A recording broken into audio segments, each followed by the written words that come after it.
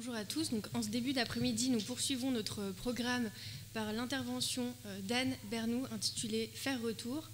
Euh, ensuite, Dylan Kenrouzo nous introduira à la pratique euh, graphique, ou plutôt pyrographique, de Davide Cantoni. S'en suivra un moment d'échange avec le public, puis une courte pause. On va essayer de respecter les délais. donc je poursuis avec la présentation d'Anne Bernou. Anne Bernou est historienne et historienne de l'art. Longtemps enseignante au lycée euh, français de Munich, ses recherches portent sur les rapports entre euh, art et histoire au XXe siècle, et en particulier sur l'iconographie euh, contemporaine liée à la mémoire des guerres. Elle a organisé et co-organisé plusieurs manifestations scientifiques, dont récemment à Paris 1 Panthéon-Sorbonne le colloque La France en guerre dans le second XXe siècle, représentation et mémoire contemporaine 2000-2017. Elle publie sur ces sujets de nombreux ouvrages. Son travail actuel porte sur la réappropriation par des artistes contemporains de monuments publics du passé qui ont été désinvestis, relégués dans l'oubli ou tout simplement détruits. Anne Bernou, nous vous écoutons. Merci. Bonjour à toutes et à tous et merci euh, à Anne Favier pour l'invitation pour cette journée d'études. Merci au musée pour euh, l'accueil. Voilà, donc je vais travailler à la croisée de l'art et de l'histoire. Euh, dans les années, des années 60, un certain nombre de stratégies artistiques euh, redonnaient à l'histoire et à l'image médiatique une place centrale dans l'œuvre d'art. On le sait. Plus récemment, les cheminements de la mémoire, ces cycles, la transmission intergénérationnelle sont devenus eux-mêmes objets d'histoire. Dans le passage au dessin, peut se jouer ainsi désormais la possibilité de la représentation de ces espaces, tant de la mémoire que de l'histoire. Chaque artiste réalise avec l'image origine un tissage qui lui est propre. J'ai choisi pour cette intervention trois artistes qui mènent les images à une forme de visibilité inhabituelle. Deux d'entre eux travaillent dans une direction commune, même si leur œuvre dessinée diffère fortement. Ils sont ici à Saint-Étienne, ils sont présents aussi dans la salle, puisqu'il s'agit de Jean-Marc Serino et d'Éric Manigaud. Chacun à leur manière, ils sondent les images mémoires autour desquelles s'organisent le non-dit et le silence. C'est dans un tout autre rapport à l'histoire que se situe l'artiste roumain Ciprian Mureșan, dont j'ai choisi également de parler. La reprise, l'appropriation de l'image source qu'il élabore est de même d'une toute autre nature.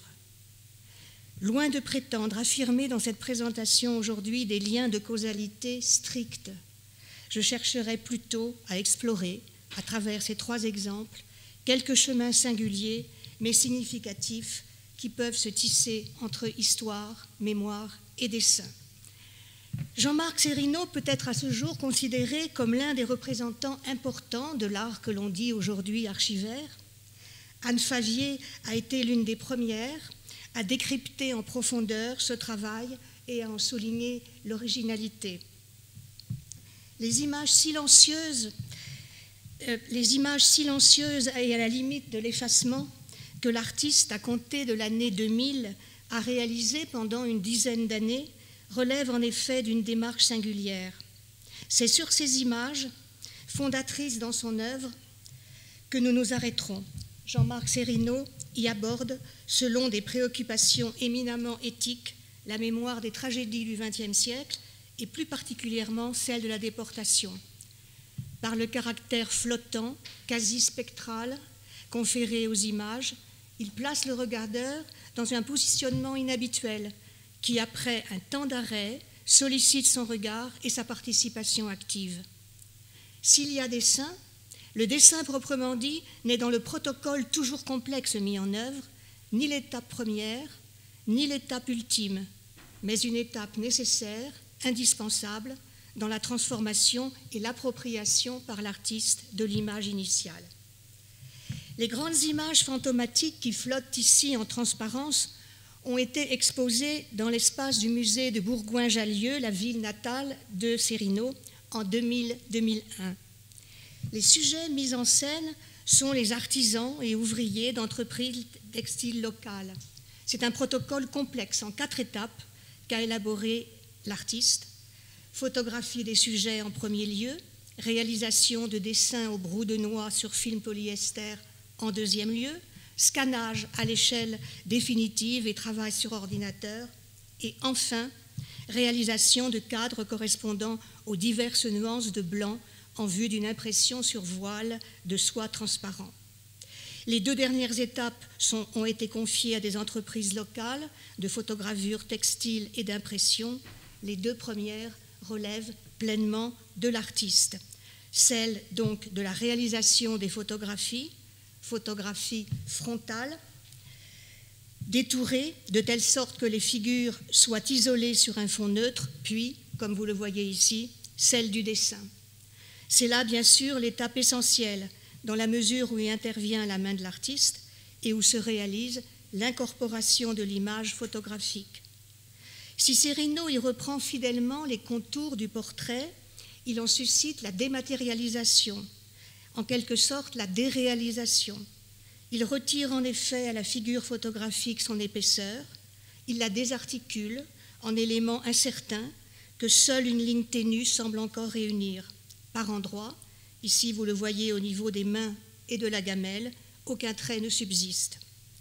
L'image finale est une image évanescente et pourtant persistante, une image vestige qu'un processus complexe de retrait et d'ajout successifs a pu, peu à peu, faire ainsi émerger à partir de la photographie source.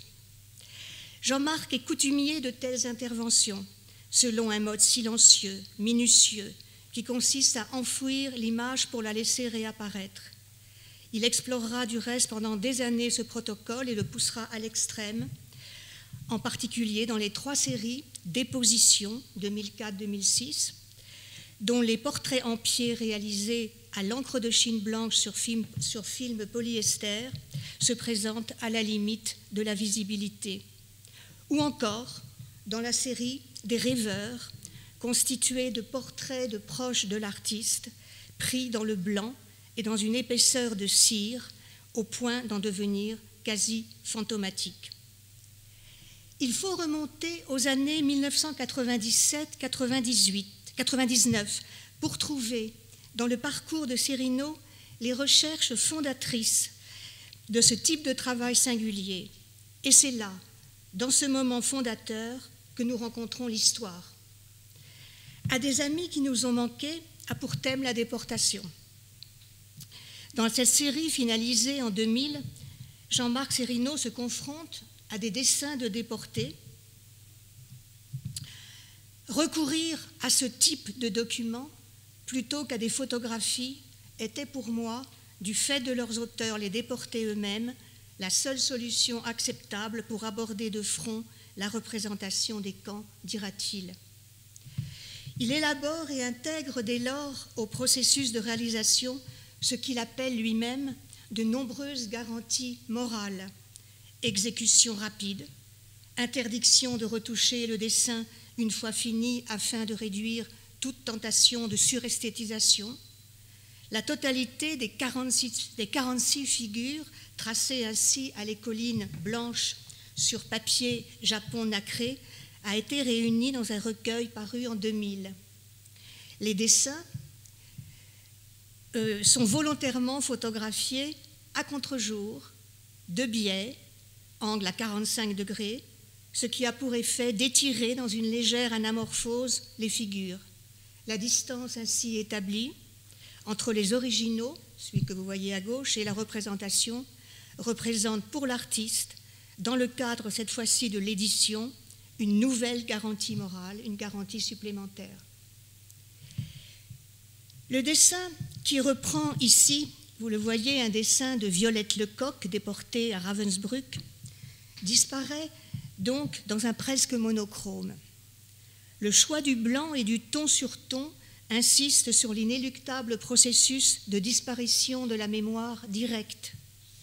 Il manifeste aussi la volonté, comme le dit Serino lui-même, de contrarier la vision directe, de rompre un rapport de sidération entre le regardeur et l'image, de lui laisser sa liberté dans l'acceptation de celle-ci.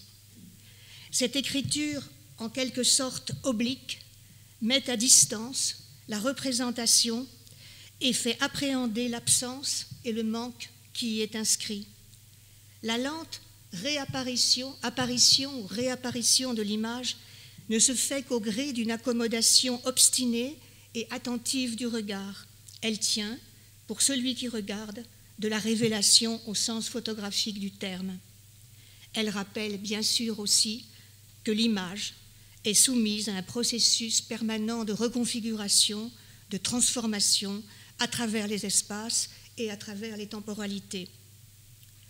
Depuis 2011, Jean-Marc Serino est passé à un autre type de travail, à la peinture cette fois, peinture sur et sous verre, à partir d'images photographiques de l'histoire du XXe siècle, images anonymes le plus souvent et en quelque sorte indirectes, car vides de toute présence humaine.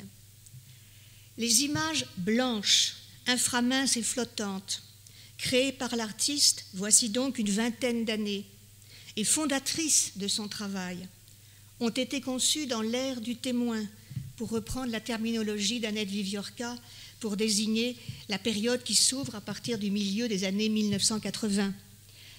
Aujourd'hui, dans le contexte du tournant testimonial marqué par la disparition des derniers témoins directs, elles acquièrent en quelque sorte une nouvelle épaisseur.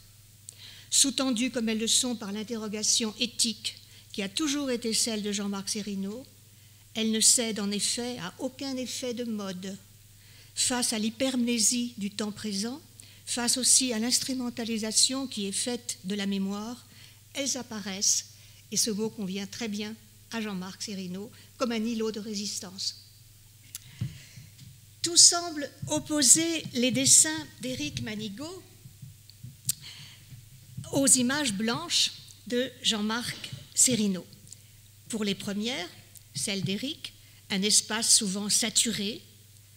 Pour, pour Jean-Marc, le vide de la représentation, le noir de la poudre graphite dans ce cas, le blanc de l'écoline ou de la cire dans celui que nous voyons précédemment. Pourtant, quand ces deux artistes s'approprient les images de l'histoire, ils le font à bien des écarts, me semble-t-il, de façon similaire, très proche. Dans l'intentionnalité d'abord, respect absolu de l'image source et de son auteur, toujours ou pratiquement toujours cité par Manigaud dans le titre du dessin, souci du retrait, mais paradoxalement aussi dans la réalisation même de l'œuvre, leurs dessins, aussi dissemblables soient-ils, appartiennent en effet à cette même famille qui est celle des images mémoires. J'ai choisi, j'ai choisi de me focaliser sur la série Octobre 1961, une série récente, puisque réalisée entre 2016 et 2018, dont quatre dessins sont actuellement exposés au musée. Dans cette série, les images sources, ici d'Almas Asenstark, sont des images prises dans la nuit dramatique du 17 au 18 octobre 1961, au cours de laquelle, à Paris, à l'issue d'une manifestation non violente appelée par la Fédération de France du FLN, plus de 11 500 Algériens sur 20 000 manifestants furent arrêtés et parqués dans des centres de tri. Nombre d'entre eux assassinés, dont certains jetés dans la Seine, le bilan variant encore à ce jour d'une quarantaine de morts d'après les seules archives policières et pour la seule soirée du 17 octobre, à 200 morts environ, d'après différentes sources et sur une période englobant l'automne. Cette sombre page de l'histoire de la guerre d'Algérie a été longtemps occultée par le pouvoir. La thèse officielle ne fera longtemps état que de trois morts. Il faudra attendre l'année 2012 pour que François Hollande reconnaisse la responsabilité de la République dans ce massacre. Cette photographie prise... Ah, je vais retourner. Voilà. Ça, c'est le dessin d'Éric, bien sûr. Cette photographie prise boulevard Poissonnière depuis les locaux de l'Humanité par Georges Azenstark, alors photoreporter au journal, ne fut publiée ni le 18 octobre, ni les jours qui suivront et la plus grande partie des négatifs disparus mystérieusement des archives du journal. Cet enfouissement durable avait tout pour susciter l'engagement d'un artiste comme Éric Manigaud. On sait en effet de ses travaux antérieurs le souci qui est le sien de questionner les images enfouies dans l'inconscient collectif, ou du moins peu montrées, de faire retour sur des images gênantes et clivantes, celles-ci le sont toujours, de mener en quelque sorte l'enquête par l'image et au-delà de l'image, souvent précisément par le hors-champ, c'est-à-dire par ce qu'elle ne donne pas à voir. Pour les 24 dessins de la série Octobre 1961, Éric Manigaud a puisé, dans le fond photographique disponible de manière à offrir une diversité de perspectives, mais à rendre compte également de l'aspect éclaté, fragmentaire, totalement aléatoire de la couverture de cet événement. La quarantaine de clichés qu'Elie Kagan euh, a pu réaliser dans la nuit du 17 octobre, dans des conditions périlleuses, représente la trace, on le sait, la plus probante de la répression. Elle sera du reste largement reprise par euh, Jacques Panigel pour la réalisation en 1962 de son film Octobre à Paris, longtemps censuré et interdit. Les images sources choisies par Éric Manigaud ne s'y limitent pas. Elles donnent un large aperçu de scènes que des photographes, parfois anonymes, plus ou moins politiquement engagés, ont pu saisir sur le vif, souvent dans l'urgence et en bravant les interdits, dans des conditions de luminosité parfois dérisoires, c'était la nuit, et avec des pellicules de faible sensibilité. Ces clichés sauvés de l'oubli, mais aussi parfois de la destruction, Éric Manigaud, Éric n'en laisse rien passer, par crainte de perdre un possible indice pour l'enquête qu'il mène à travers les images. À quelques exceptions près, la composition du dessin, on le voit dans cet exemple très bien, demeure fidèle à celle de l'image source. En ce sens, les images de Manigaud ne sont pas des images composées, mais des compositions imposées, strictement reprises par le dessin. Les raisons ne relèvent bien évidemment pas seulement de la technique employée, même si cette dernière est déterminante, dans la mesure où l'artiste, comme on le sait, dessine en suivant les contours de l'image agrandie, qu'elle soit imprimée, trame digigraphique, ou, dans le cas des plus grands formats, projetée à partir d'une diapositive. En vue de l'agrandissement souhaité, l'image source est choisie par l'artiste pour ce qu'il appelle sa solidité interne, et le dessin est ainsi, quel que soit son format, une totalité insécable indivisible. Il serait vain de chercher euh, d'autres critères d'ordre strictement technique pour comprendre le choix que fait Éric Manigaud de son image source. Une image source relativement lisse, comme à gauche cette capture d'écran de Panigel, donne un dessin légèrement flouté, en quelque sorte pixelisé, ici de petite taille. Cette photographie, à gauche, d'Elie Kagan, caractérisée quant à elle par un déficit de netteté lié à l'éloignement du photographe et à la faible luminosité, donne naissance à un dessin de très grand format, lui, dont l'aspect est lui-même flouté, fondu, ce qui n'enlève rien à la lisibilité de l'image, si l'on considère les éléments centraux comme l'inscription publicitaire ici, ou, plus encore, bien évidemment, le regard dont le dessin se fait à proprement le révélateur. Ainsi, quelle que soit la netteté de l'image source, quelle que soit l'importance de l'agrandissement, que l'artiste dessine sur trame digigraphique ou sur image projetée, c'est bien le même fondu des formes, le même poudré, le même traitement quasi immatériel qui se substitue à la matérialité de l'image origine pour donner une image comme légèrement suspendue et décollée du support. Si le secret peut résider en partie dans la texture du papier utilisé, dans l'utilisation faite du crayon gras complété par la poudre de graphique, il réside avant tout dans l'élaboration d'une mystérieuse trame réalisée par la main même de l'artiste, centimètre carré par centimètre carré, à partir de micro-hachures et de zones d'ombre d'où émane une lumière d'intensité variable. Partie d'un document qui les fonde, les dessins d'Éric Manigaud atteignent ainsi un caractère de falsification authentique de la réalité. Je reprends là une expression de, Luc Tuymans à propos de son travail de peinture qui, comme on le sait, a pour point de départ des images et bien souvent des images d'histoire.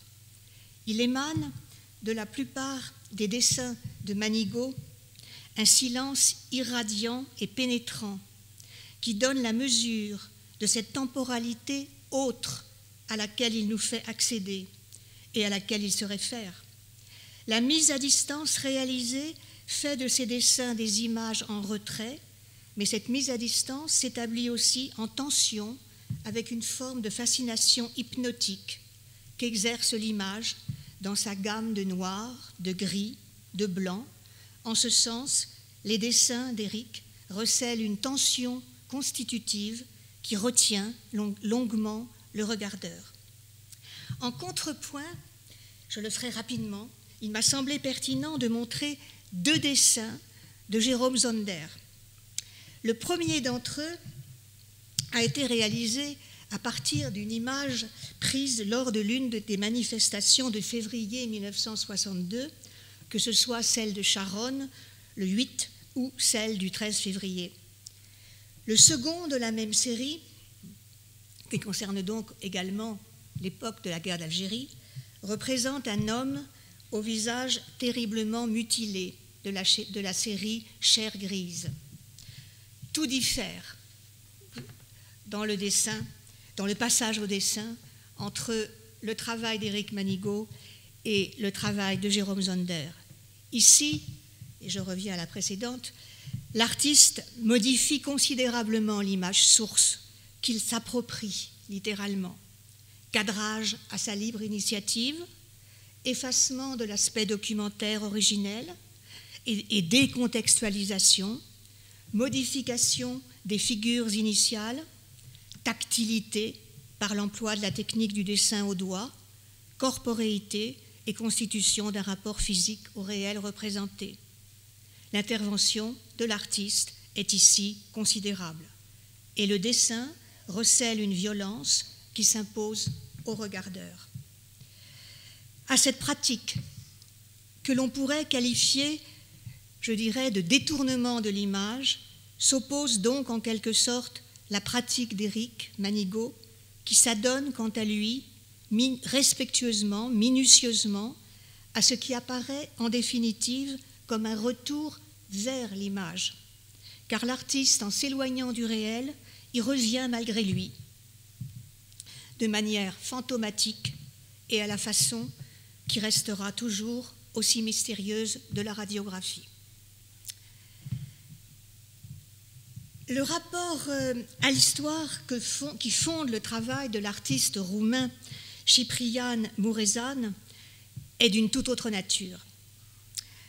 L'horizon proche, lointain ou lointain proche de l'ère communiste, Muresan avait 12 ans au moment de la révolution roumaine de 1989 et de la chute de Ceausescu, conserve pour lui assez de familiarité mais présente aussi assez de distance pour l'amener à engager un travail réflexif tant sur l'histoire que sur sa propre place dans le monde du post-communisme. Il ne manque pas non plus de poser avec virulence la question du rôle de l'artiste dans la société après que s'est effondrée l'utilisation de l'art et des artistes pour les besoins de la propagande.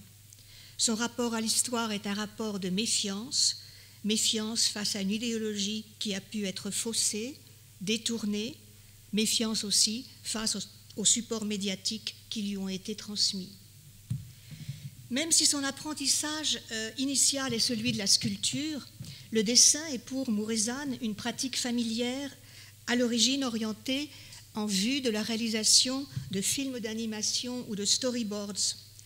Les grands dessins palimpsestes, comme celui que vous avez sous les yeux, que l'artiste réalise au début des années 2010, procèdent d'une confrontation à l'histoire et mettent en œuvre une stratégie artistique d'une originalité plastique profonde. De 2010 à 2012, son travail de dessin a d'abord consisté à s'approprier les ouvrages d'histoire de l'art mis à la disposition des étudiants en Roumanie, aussi bien avant qu'après 1989, et à les copier dans leur intégralité, de façon quasi obsessionnelle. Mais à partir de 2013, l'artiste ne se concentre plus que sur les seules reproductions des ouvrages. Il les en détache, les copie, les unes et les autres, en couches successives qui se superposent de manière à former de grandes feuilles de format paysage, le plus souvent, qu'il intitule alors All Images from a Book. Entre 2013 et 2014, Mourezan s'intéresse à des artistes aussi différents que Vermeer, Piero della Francesca, Antonello da Messina, Matthias Grunwald, Casimir Malevich et, comme vous le voyez ici, Agnès Martin.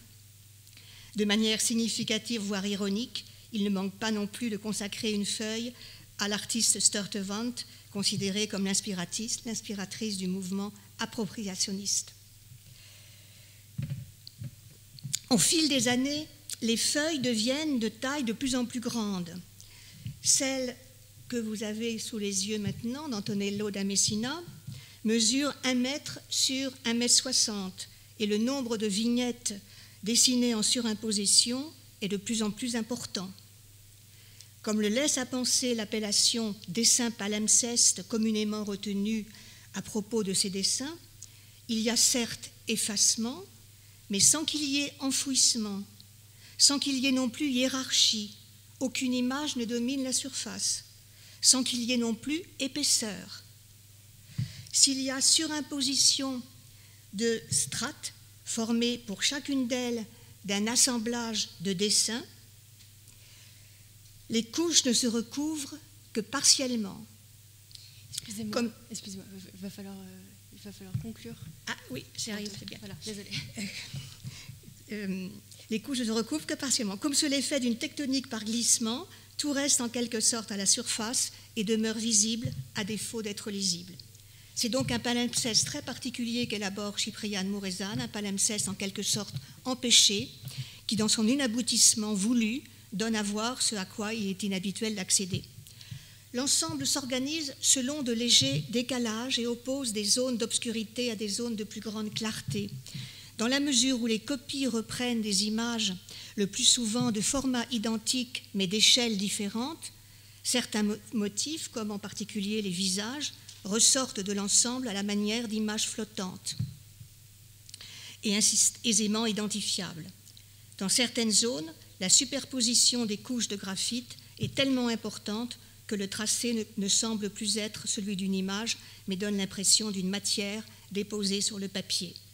Globalement, l'artiste obscurcit plus qu'il ne montre. Par endroits, des hachures esquissent un effet de, profondeur, mais crée surtout une rupture de rythme. D'une certaine manière, ces dessins s'appréhendent comme une chambre sonore et se lisent comme la partition d'une symphonie dissonante. Et s'appréhendent de manière quasiment sensorielle.